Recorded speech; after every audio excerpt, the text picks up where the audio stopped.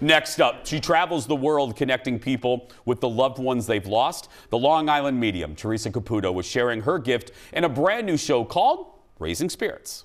He said to me, please tell my wife I did not suffer to my death. God. I almost feel like it was a freak thing that happened on how he died. Like, we're still trying to figure it out. Like, they show me like um, tire marks. And then it's like, how the hell did this happen? This makes no friggin' sense. It does to her, though. Look at her face.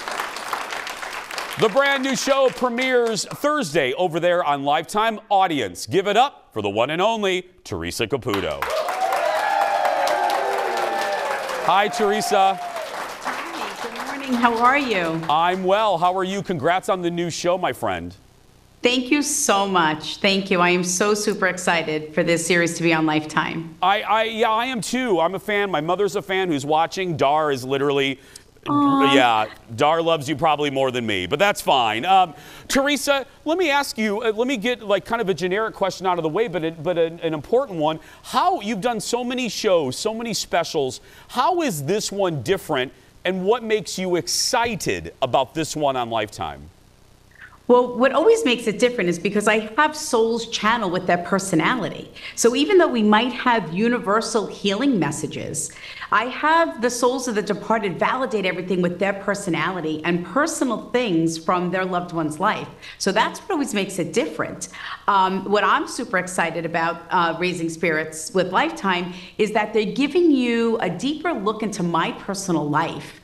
Uh, what it's like behind the scenes, you know, me getting ready, preparing for a reading, getting ready in the morning, the crazy things that interrupt my day on a daily basis. And because, you know, what is that old saying? You know, you make plans and God laughs. Yeah. That's like my day every day. Um, and, you know, you get to see so much more of my family. My mom, you know, who's always been a little camera shy over the past decade, she's making a lot of appearances, Ronnie. So you get to see a lot of my parents, my brother, my children, who are both married now, and uh, Grandchildren. Yes, my granddaughter Michelina. She's going to be the new star of Raising Spirits. I love that. Congratulations, by the way, Theresa. Thank you. Congratulations. Thank you. I wanted, well, on that note, I wanted to ask you. I mean, everyone, we, we can see the successes, we can see the great moments, but I was wondering, how do you feel? Uh, when, when you're blocked, when the spirits, you know, you're taping, you have the crew, you have the lights, you have this lovely s- human in front of you that just wants a connection, and, and, and the spirits just aren't working with you. How, what, what do you do? Do you just take a moment or you got to run with it? I, it's never happened. Don't jinx me now, Jason. No, I know. I'm sorry, Theresa. I'm sorry. If, thi- if this happens, I'm calling you right away. Okay, come to Minneapolis. Come to Minneapolis and give you a reading then if that happens. Yeah. Oh, oh, oh yes. Oh yes. No, but but I, but some I would imagine. Yeah. But I would imagine some spirits are more forthcoming. Am I accurate in saying Absolutely. that? Yeah. A, a thousand percent. You know, you have to understand also, some people, I have souls, I want spirit to bring forward other souls that the person would never expect to come through.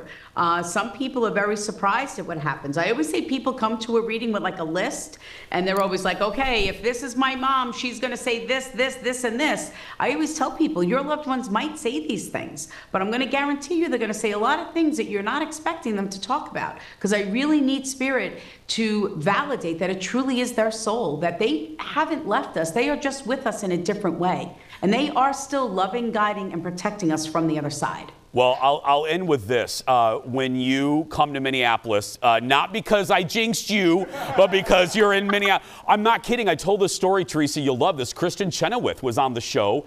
We were doing a, Oh. we were doing a normal interview. She has a little bit of the gift. We got done with the interview, Theresa. I got ready to say goodbye to her, like I'm getting ready for you, and she stopped me cold, and she said.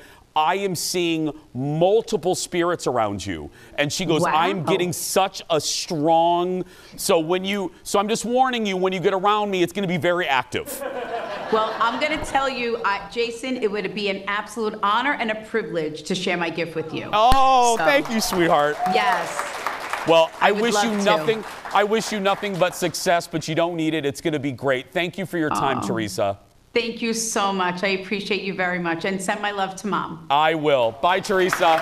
Check out the premiere of Raising Spirits Thursday night on Lifetime. She's so sweet. She's so sweet. I believe in all that. I do. I was raised, but I was raised in that house. Yes. My, my mom and my grandma went to a little, a little, a little woman named Mrs. Winters. Oh, Mrs. Winters. Uh, basically Oda Mae Brown. Okay. But not Whoopi Goldberg. But yeah. Cool. And she had a, she had, a, I remember her really dusty house, and it freaked me out as a kid. And my mom would go in for a reading, and I would sit in her uh, living room, Yeah. and I just remember looking at all the knickknacks, going, "This is dusty." and uh, and then eventually, when I got old enough, my mom let me have a reading, Uh-huh. and Mrs. Winters saw everything Through the dust or like through just yeah. She said I would move away. She gave a year around around the same year I moved. She saw she saw a TV show.